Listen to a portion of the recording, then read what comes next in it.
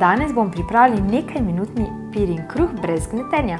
Čisto preprost je in za res, za res hitro pripravljen, vse vam bo res minuto, res pa, da si bo potem vzel nekaj časa za vzhajanje. Pa naj vam kar razložim, kako sem ga pripravila.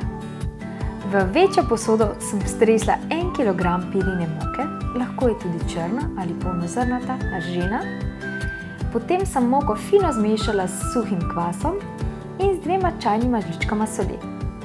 Ko so se sestavine premešale, sem notri med rednim mešanjem počasi vlila 700 ml vode. Ko so se sestavine vsaj grobo premešale, sem jih pokrila s plastično folijo za živila in pustila, da je testo shajalo 12 do 18 ur. Urica gor ali dol, vedno bo uspela.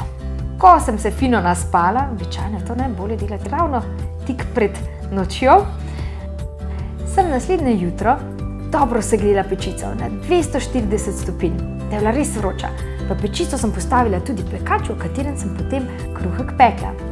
In ko bi pekač fino, fino vroč, sem notri zlila zmes, ki je res bolj tekoča kot pa gosta, in takoj pokrila s pokrovom ter položila nazaj v pečico, da se je pekla v segreti pečici na 240,30 minut.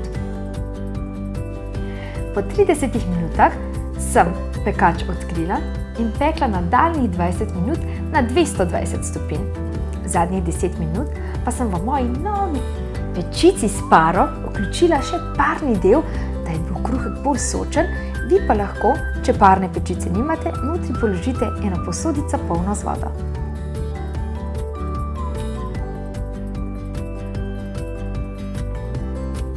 In res kruhek je slasten, in potem sledi samo še tisti najlažji del in najboljši del, da ga pojeste. Mi se pa vidimo naslednjič.